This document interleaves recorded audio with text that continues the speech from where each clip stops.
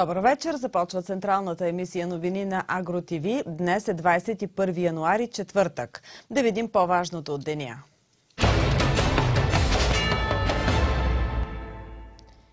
Предстои закриването на дирекция обществени поръчки към Министерството на земеделието. Държавен фонд земеделие няма да извършва преоценка на проекти, свързани с неземеделски дейности по старата програма. Все още не може да се направят прогнози дали рапицата ще преодолее големите температурни амплитуди. Предстои закриването на дирекция обществени поръчки. Това съобщи министърът на земеделието и храните Десислава Танева по време на обществено обсъждане по законодателните промени в областта на агрохранителната верига. Каква е причината за закриването на дирекцията? Цяла дирекция има. За една година само процедурите за КВС приключени. Ние тръгваме 1 март кампания директни плащания. Влизаме в мандат. Целият ни екип. Ясна, ясна ясна политическа програма имаме какво да направим. Една от тях беше едината информационна система за администрирането на директните плащани. Процедурата стартира всичко, пак казвам, и ние сме влезли, политическия ни екип, без да мислим ти първа какво ще правим, а с ясна програма по срокове. И тя още е в съда. Та това, та онова, че пропуски, еми просто хората очевидно няма този капацитет. Независимо, че директорката на тази агенция, даже аз се назначих по мандата, това няма значение. Справил ли си се? Не си се справил. Няма значение тук, нищо друго. От всяка администрация трябва да се търси резултат категорична и министър Танева. Според нея, един министър трябва да има много по-голяма свобода по отношение на кадровите решения и възможностите за санкциониране на пряко отговорните лица в администрацията. Фонд земеделие няма да извършва преоценка на проекти, свързани с неземеделски дейности по старата програма за развитие на селските райони. Това заяви заместник министърът на земеделието и храните Васил Грудев. Повод за думите на Васил Грудев станаха опасенията на малките фотоволтаични фирми, които са били изправени пред валит заради понижената преференциална изкупна цена на тока, която беше гласувана в Народното събрание през юли 2015 година. Грудев поясни, че собствениците на фотоволтаични централи не трябва да се притесняват, че цените в бизнес плана им ще бъдат прекалкулирани и това би могло да доведе до връщане на получени субсидии от фонд земеделие. Само ако фотоволтаичната централа не функционира, ще се претендира за връщане на средства, уточни заместник министр Васил Грудев. По думите му, съдът на Европейския съюз се е произнесъл вече по казуса и определил подпомагането и изкупуването на преференциални цени на тока от веитата като двойно финансиране, заради което държавата ни търпи санкции от 28 милиона евро, които към настоящия момент са редуцирани до 4 милиона. От Българската фотоволтаична асоциация обаче заявиха, че мониторингът на Европейската комисия ще продължи още 10 години и това поставя на изпитание проекти. Заради намаляването на изкупната преференциална цена на произведеният от фотоволтаици ток, бенефициенти вече практически били фалирали. Те не могат да си изпълнят нито бизнес плана, нито могат да изпълнят своите ангажименти за заетост.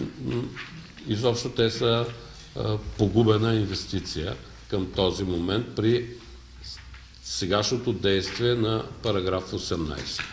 В отговор заместник замеделския министр Васил Грудев заяви, че проблемът на фотоволтаичните фирми не е в прерогативите на замеделското ведомство и помоли представителите на асоциацията да не се опитват да си решават проблемите, свързани с понижената цена на продавания от тях ток, чрез програмата за развитие на селските райони.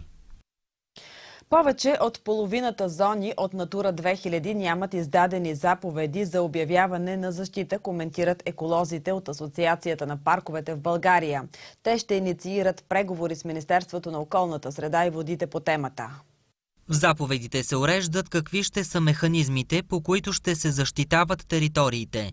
В тях се определят също и кои обекти от флората и фауната на дадена територия ще попаднат под защита. Ние в България много често чуваме думата 33% от територията на страната е включена в Натура 2000, но всъщност това не е така. Практически не е така. Едва за 13% от защитените зони от Натура 2000, т.е. 13% от страната има издадени заповеди, все още 20% са без заповеди, т.е. без регламенти, без режими и ние организираме различни дейности, за да поощриме издаването на заповедите, за да може все пак тези територии, които осигуряват някаква защита, не класическата на защитени територии, но все пак някаква защита на част от биологичното разнообразие, да имат своите заповеди и вече практически да се прилагат. А оттам съответно идва и елемента за собствениците в тези територии да могат да получават помощи по линията на програмата за развитие на селските райони. Такъв пример са зоните, които трябва да обявим по линия на директивата за хабитатите. Те обхващат 234 зони в цялата страна, от тях само за 6 има издадени заповеди за защита. В зоните се срещат редки видове бозайници, земноводни и насекоми, част от които са застрашени от изчезване, допълват природозащитниците. Големите температурни разлики със сигурност ще се отразят върху посевите с пшеница и рапица. Какво е състоянието на есените култури? Капризите на времето и непрекъснатите промени в температурата могат да компрометират реколтата от пшеница и рапица. През последния месец в Добруджа температурите рязко се движат от минус 15 до плюс 15 градуса и то в рамките на ден-два. Всичко това ще се отрази върху реколтата, смята Станимир Статев, който обработва 10 000 декара в землището на село Поп Григорово. Ако пшеницата не е засята на време, тя няма да е добре вкоренена и ще изтегли, ще измръзне в това студеното време, няма и сняг. А, ако е засята на време, ако има достатъчно техника за съвсем кратко време да се засее, няма проблем пшеницата да е добре вкоренена и да не измръзне. Големи температурни разлики при всички случаи ще се отрази на пшеницата, но като цяло има свръх запаси, така че тази посока глад няма да има и цените най-вероятно пак ще са ниски. Дано да има по, по-добри добиви. Все още не може да се направят прогнози дали рапицата ще преодолее големите температурни амплитуди. Трудно може да се каже, тя е доста непредсказуема, но която е вкоренена, според мен, ще е добре, но е пъстро. Покрай морето е по-добре, по-навътре в Доброжен е добре, защото тогава засуши, като сяхме и поникна пъстро, не поникна равномерно, така че няма да има много добри добиви при рапицата. Пшеницата дано да е нормална и лятото да паднат дъждове за царевица и за слънчоглед. Близо 1 милион и 200 хиляди декара са площите с пшеница, 70 хиляди декара с чемик и тритикале и около 170 хиляди декара с рапица, засети през есента в Добричка област.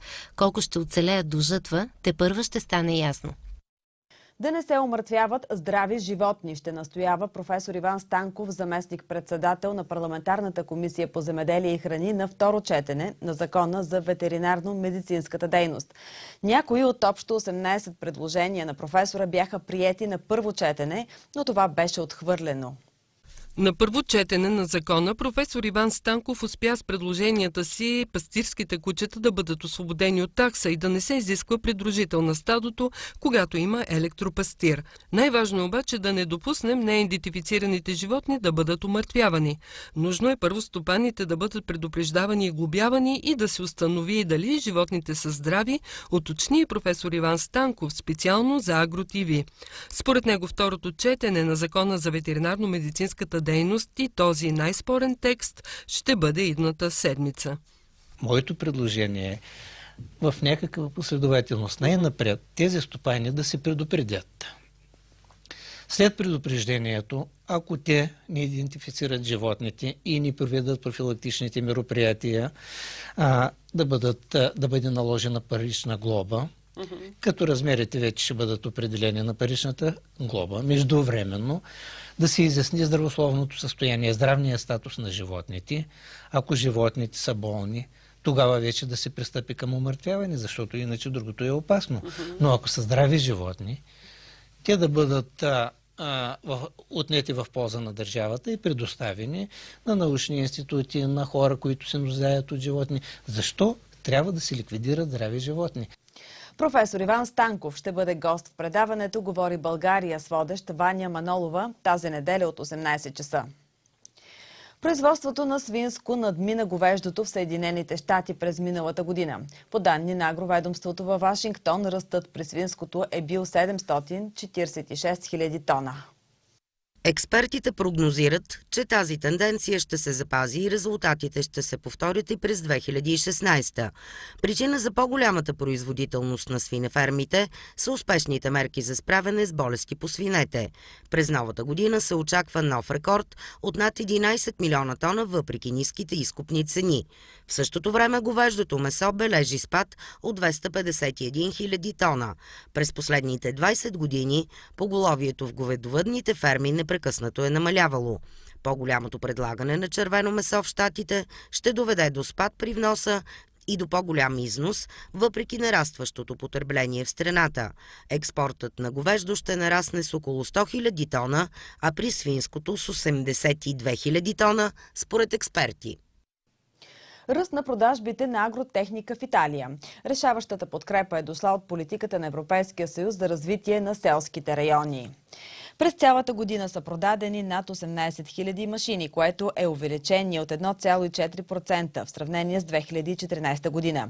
Данните по региони са доста различни. Най-много нарастват продажбите в областите Венето и Лацио. Най-голям спад е регистриран в област Емилия-Романия. Принос за подобряване на пазара ще има изпълнението на мерките, обявени от правителството за разпределене на 45 милиона евро за закупуване на селско-стопанска техника. Да се намали световната консумация на риба, препоръчва природозащитната организация Greenpeace. Според нея, почти всички видове риба са застрашени от изчезване заради прекомерен улов. На оценка са били подложени 115 видове риби. Природозащитниците препоръчват да не се купува змиорка, скумрия, тихоокеанска сьомга, златист морски костур и мерлуза. Причината – близо 30% от световните рибни запаси са почти изчерпани. При 60 на 100 има прекомерен улов. Според представители на риболовната и преработвателната индустрия, препоръките на Greenpeace са прекалено строги и не отговарят на съвременното състояние на морския риболов. При него за всичко има правила, от количествата до различните методи на улов. През 2014 година консумацията на риба в Германия е била в размер на над 1 милион тона, което прави по около 14 кг на глава от населението. В световен мащаб средното количество е 19 кг, а в Европейския съюз 23 кг. Любимите риби на германците са сьомга, херинга, рибатон и пастърва. Четвъртата национална среща на земеделските производители в България ще се проведе в началото на февруари. Бизнесът, представители на властта и неправителствени организации ще дискутират най-актуалното от земеделския живот в страната. Конгресът на земеделските стопани у нас през 2016 година ще е с още по-актуални теми и по-вълнуваща програма, обещават организаторите. АгроТВ е медиен партньор на форума. Вие гледате централната емисия новини на АгроТВ. Остава да видите още.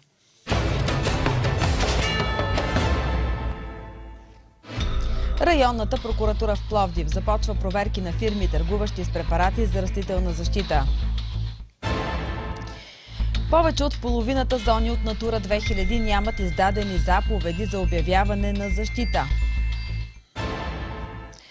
Автентичният ритуал бабуване в деня на родилната помощ. Районната прокуратура в Пловдив започва проверки на фирми, които търгуват с препарати за растителна защита. Мярката е предизвикана от сигнали и публикации в медиите за допускани закононарушения. Повод за проверката е журналистическо разследване, провокирано от отравянето на голям брой домашни и бездомни кучета в район Северен Пловдив през декември 2015 година. Разследването тогава установи, че кучетата са отровени с препарат за растителна защита. Започнаха нещо като журналистическо разследване по какъв начин може човек да се снабди с отрова, която да се използва и за такива цели.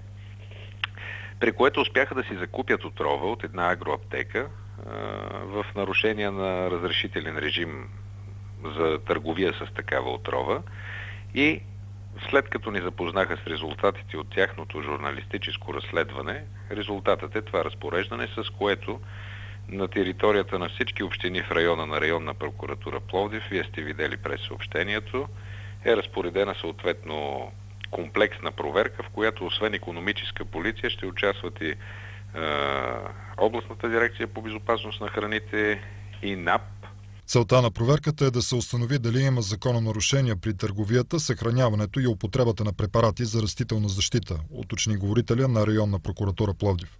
Периода, който ще бъде ревизиран е от 1 септември 2015 година до настоящия момент. Срока за приключване на проверката е един месец, след което ще се прецени какви ще бъдат по-нататъчните действия на държавното обвинение. Четири законопроекта влизат в Народното събрание с една цел – защита на крайния потребител. Това заяви земеделският министр Десислава Танева по време на обществено обсъждане на пакетното законодателство, което се проведе в столицата. В дискусията участваха представители на институциите, на бизнеса и на медиите. Законодателният пакет включва Законът за хранителната верига, новият Закон за храните, Законът за оценка на риска по хранителната верига и Законът за ветеринарно-медицинската дейност. Какви са реакциите от страна на бизнеса? Това законодателство пакетно, което предстои да влезне в пленарна зала, след доизчистване на някои малки въпроси, както сподели Жана, а, ще бъде за много години. За мен е много важно, че има политическа воля и ангажираност на Министерството с решаване въпроса за, бих казала, по-меката дума, нерегламентирани обекти в хранително-вкусовата промишленост. Десислава Танева уточни, че за 2014 година потребените храни са на стойност над 9 милиарда лева, а заетите в сектора са около 112 хиляди души. Целта на новото законодателство е да се работи по правила, подчерта аграрният министр. Албания черпи опит от България по отношение на законодателството за природозащита. Екип на Дружеството за защита на птиците е посетил страната ни, като е обучавал албански еколози. Това е станало по време на зимното преброяване на водолюбивите птици в Албания. Мога да кажа, че там се наблюдават също много интересни видове. Например, фламинго, вид, който в България се появява много рядко, докато Албания е едно от местата, където традиционно има фламинги. А също видове като пеликани, по-малко гъски, отколкото в България. Има се специфики в Албания. Еколозите са обменили не само професионален опит, но са обсъдили и законодателни инициативи.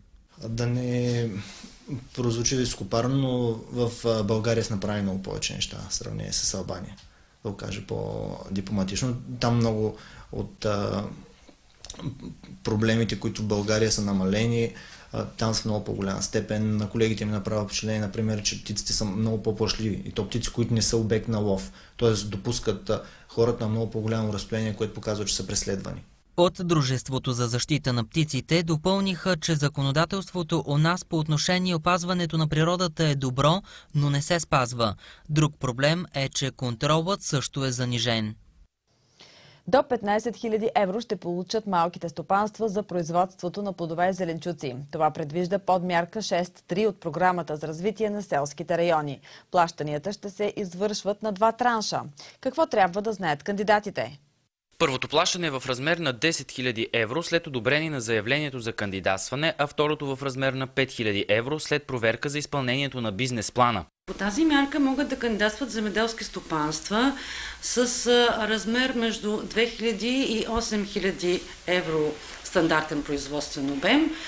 Това е фактически размера на стопанството. Приоритетни дейности, както ги наричаме не точно допустими, са животновътството а, и от растениевътството, производството на зеленчуци и плодове. Към момента на подаване на заявлението за подпомагане на земеделските производители трябва да имат регистрирани животновъдни обекти и да отглеждат едри и дребни преживни животни – свине, зайци, птици и пчели. Подмярка 6.3 предвижда и подкрепа за секторите плодове, зеленчуци, както и за етерично-маслените култури. Най-честият въпрос е относно а, размера на стопанството, което трябва да имат, т.е. условията, на които трябва да отговарят. Чести въпроси са и документите, които ще станат ясни на малко по-късен етап, които са им необходими за кандидатстване и немаловажен е въпроса за размера на субсидията, който е ясен. Това са най-честите въпроси и разбира се технологични въпроси и въпроси са свързани с тяхното данъчно облагане. И във връзка с това цялата наша служба предоставя консултации в така наречените изнесени приемни дни, които ние осъществяваме по график в различните общински центрове или по по-малките населени места. Изнесените приемни, които службата организира, са 3-месечни и са разпределени в 10 общини на територията на област Враца. Вече са консултирани фермерите от Оряхово и Козлодой, остават Мизия, Хайредин, Борован, Мездра, Роман, Бяла Слатина и Криводол. Песимистична прогноза за изкупните цени на млякото направиха представители на Германското сдружение на млечната индустрия. През тази година фермерите ще получават по-малки суми. Пазарът на прясно мляко в момента е повече от наситен. Свърхпредлагането идва най-вече от Ирландия, Холандия, Полша и Германия. Положението няма да се подобри поне до средата на годината, смятат млекопреработвателите – през пролетта се очаква дори нов ръст на предлаганите количества, въпреки лекия спад в производството в Штатите и Нова Зеландия. Така цените през първата половина на годината вероятно ще останат под миналогодишните нива. През 2015 за килограм мляко с 4% масленост в Германия са се изплащали средно по 29 евроцента.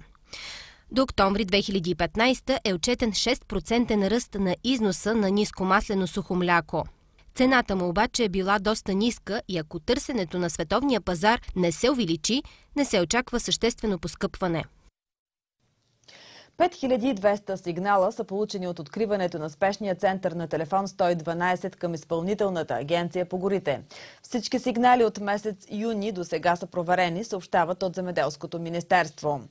Спешният център беше открит в средата на миналата година. При 105 от обажданията проверяващите са открили нарушителите. Съставени са актове за установени административни нарушения по 4 закона. Най-голям брой сигнали са подадени за незаконен добив на дървесина. Следват сигналите за горски пожари и тези в близост до гора – 1046. Сигнали са получени още за нерегламентирано транспортиране и съхранение на дървесина, както и за браконьерство. Най-голям брой отчетени обаждания за нарушения в горите има през месеците ноември и август над 900. Автентичен ритуал на Бабин ден представиха жените от село Калитиново Старозагорско. Той пресъздава традициите от стари времена. На този ден се почита акушерката на селото, наречена Баба, която дава живот на бебетата в селото.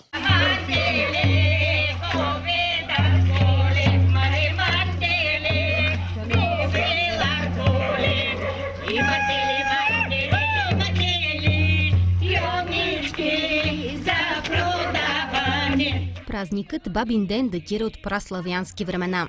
В село Калитиново тази година са решили да отбележат личния ден с възстановка на традициите. Участваха членовете на читалище Благоразумие.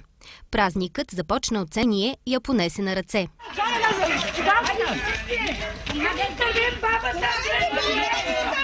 Бабата бе тържествено посрещната в сградата на читалището с прекадяване на огън и ритуално измиване на ръцете.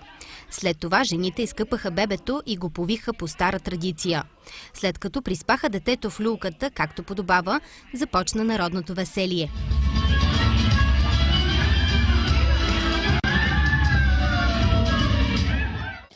Ще се задържат ли отрицателните температури и утре? Гледайте в прогнозата на АгроТВ.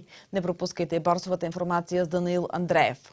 Традиционните португалски сладкиши с високо съдържание на трансмъзнини. Кои са сладките изкушения? Ще ви разкажем в късните новини в 22 часа и 30 минути. Приятна вечер с АгроТВ.